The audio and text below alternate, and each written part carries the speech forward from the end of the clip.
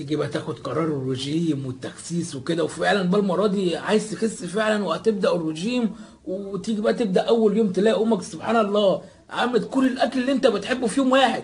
دي عاملة بشاميل وفتة وملوخية. السلام عليكم ورحمة الله وبركاته. اليوم إن شاء الله حتكلم معاكم عن ال cardio.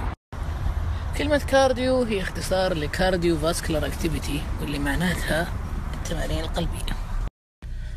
ويندرج تحت التمارين القلبية. المشي والجري كرة القدم السباحة أي شيء يتطلب رياضة هوائية وهذا معناته أن تمارين المقاومة والحديد ما لها أي دخل بال cardio. ال cardio هي التمارين القلبية.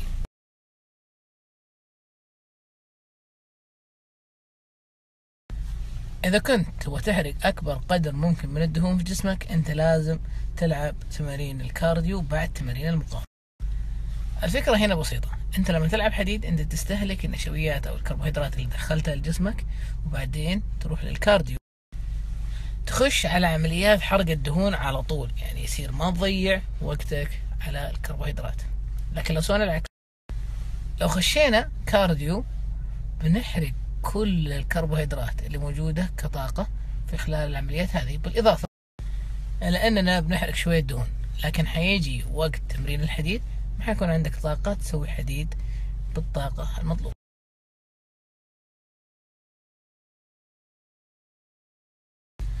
ال cardio الصباحي اللي على الريق أنا ما أفضل يكون شديد. يعني إذا تبغى تسوي cardio الصباح سوي cardio خفيف. المقصود فيه خفيف إنك ما تتعدى نص ساعة من ال cardio. يعني لا تروح ل 45 دقيقة في المفروض وغير كذا لا تسويه بمجهود عالي. يعني لا تستخدم طريقة ال HIIT إذا بتسوي cardio الصباح عاد موضوع ال cardio على معدة فاضية اختلفوا فيه الناس كثير. لكن في دراسة جديدة من جامعة الملك سعود تأيد أن هذا يفيد الناس في نقص وزن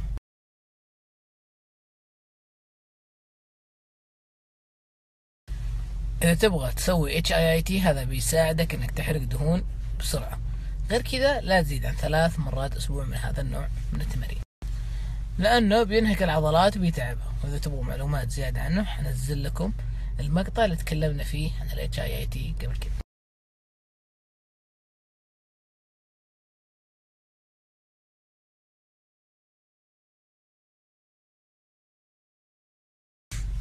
ما في شيء اسمه أحسن نوع cardio. بالنسبة لي أشوف كل أنواع ال cardio كويس ويفضل إنك تنوع وتشكل بينها يعني حاول إن خلال الأسبوع تمشي تركب دراجة تطلع درج خلي عندك مساحة للتنويع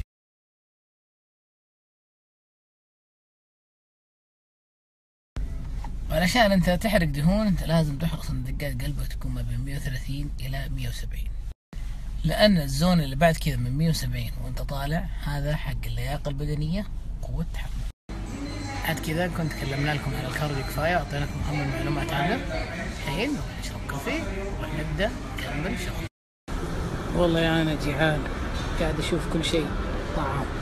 هل أنت طعام؟